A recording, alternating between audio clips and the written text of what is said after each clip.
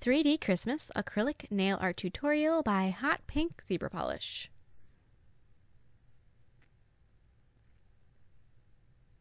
So on the thumb and index, and actually also your middle and pinky, but I'm just showing the thumb and index at the moment, we're going to be using a glitter mix that's clear acrylic with some white flakes and hexagon glitter, and I'm going to be creating the nail bed. And so that's what this is. So make your nail bed and your smile line and then fill in the tip with bright red acrylic.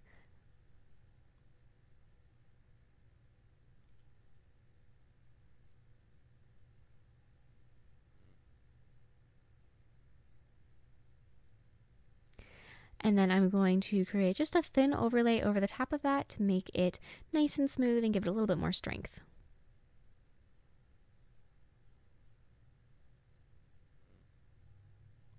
And now I'm going to be filing it. Sorry, I've got frog in my throat. Filing it until it is nice and smooth and perfect.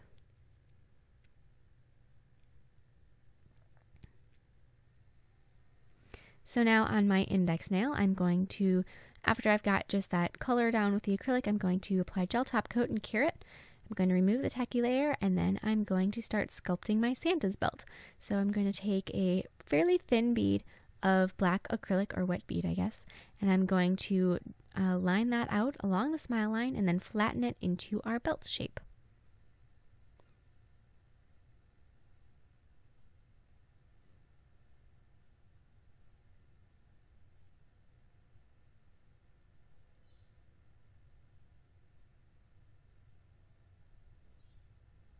All right, if your belt's a little bit lumpy, you can just file it just a little bit to smooth it out.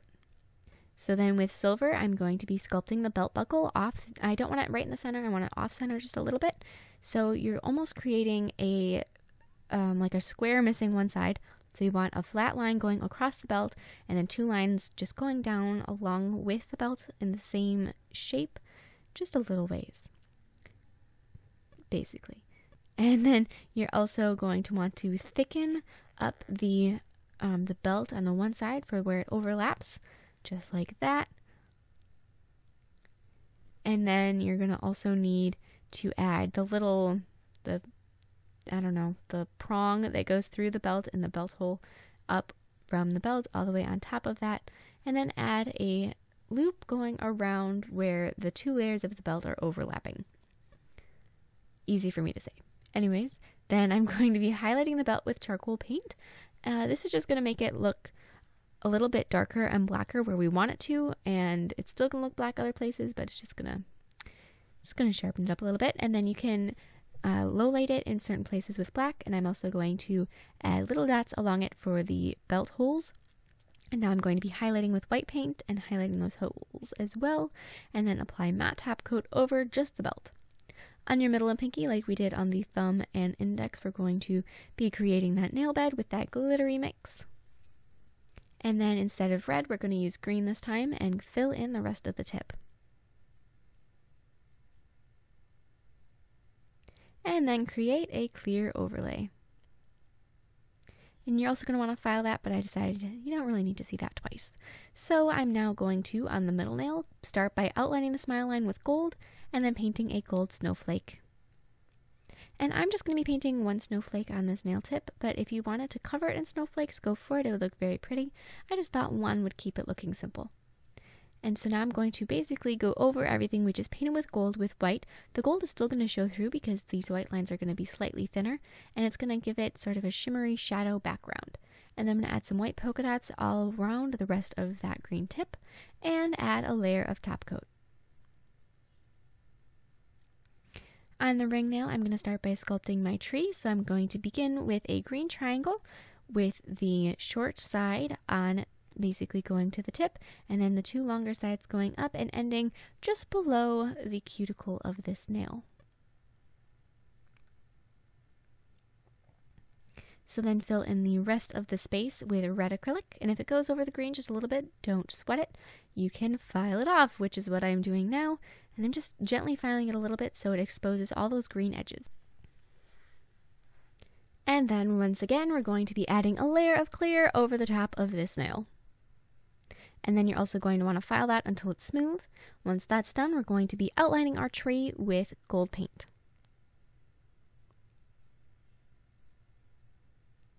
And now I'm going to be painting a star at the top of my tree.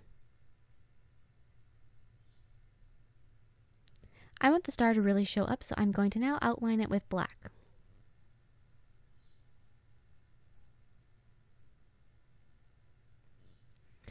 I'm going to be applying gold caviar beads in a zigzag going back and forth across my tree using some nail glue. This is a very tedious process, so I really sped it up because otherwise you would be watching me apply caviar beads for 10 minutes and that wouldn't be very fun. But apply them, and if you've got patience, good for you. This isn't actually as bad as it may seem, but you can't try and rush the process or your beads aren't going to stick. So slow and steady.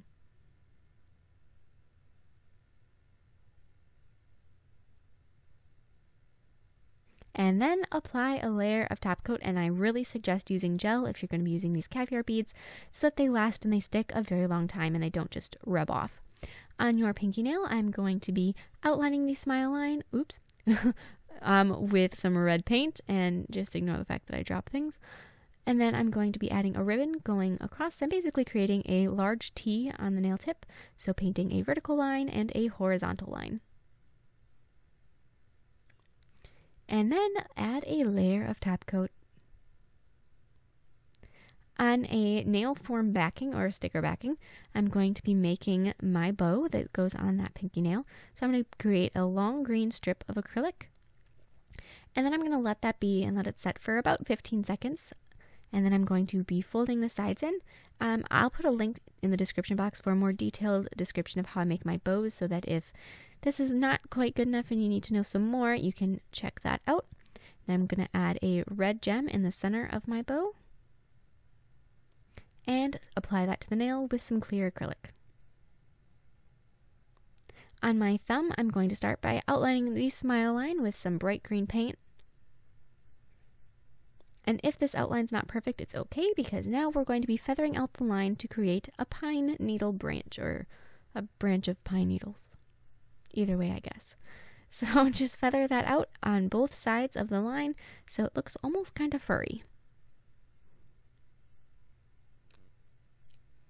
And I'm going to be low lighting that with a darker shade of green, so just creating little lines all along it in the same way that we created the little lines with the lighter green, just with darker to give it some variation so it doesn't look so flat. And now I'm going to be outlining it with black paint. And when I outline, I'm just going to do really quick little movements along the outside edge. And then I'm going to be adding the hook of our ornament with some gold paint and then outlining the hook. And of course, add yet another layer of top coat.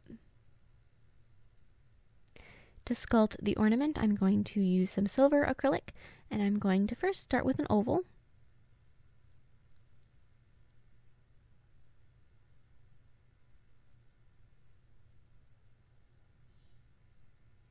And then I'm going to add a little point at the bottom of my oval.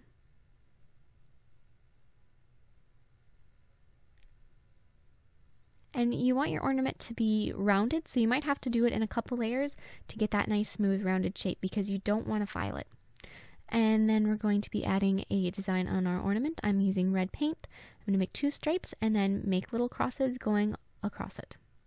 The reason you don't want to file the silver acrylic is because you'll file off the metallic quality and it'll just be gray. Add a white highlight and a layer of matte top coat. Thank you so much for watching. I hope you liked this design. Please share any recreations with me on Facebook, Twitter, and Instagram. I would really love to see them. And I will see you in my next video. Bye!